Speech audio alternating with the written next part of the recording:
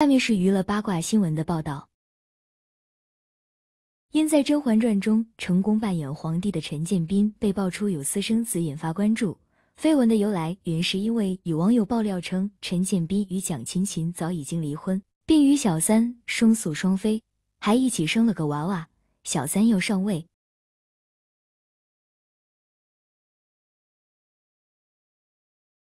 倪虹接受采访，此次在采访中。倪虹洁大方透露，她与男友相恋已经十三年，男方比她还要大三年，两个人早已同居。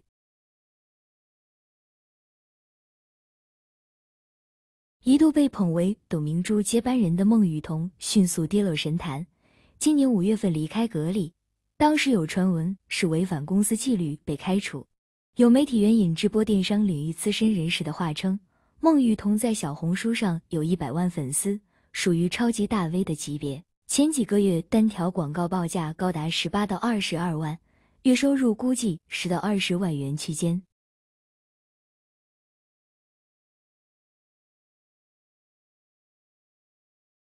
根据日本媒体周刊文春的报道，福原爱已经成为东京警视厅搜查一科的调查对象。福原爱面临严重的刑事诉讼，可能面临长达二十年的刑期。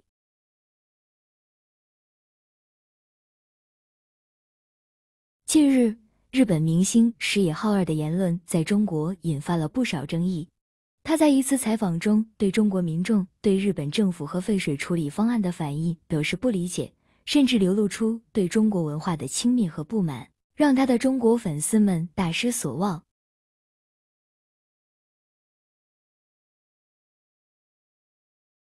自从和李小璐离婚之后，贾乃亮似乎就一心扑在了事业上。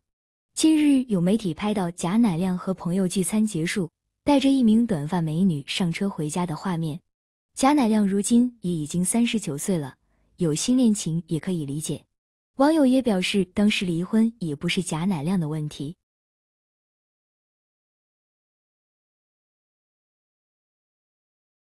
影后章子怡日前闪电宣布和汪峰八年婚姻画下句点，被誉为“国际章”的章子怡。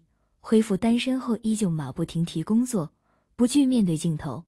据知，他下月就要进剧组拍戏，和陈可辛导演合作，题材是改编自真实事件的酱园弄杀夫案，男主角则是雷佳音。挑在此时选拍这类题材电影，让不少网友笑说也太巧了。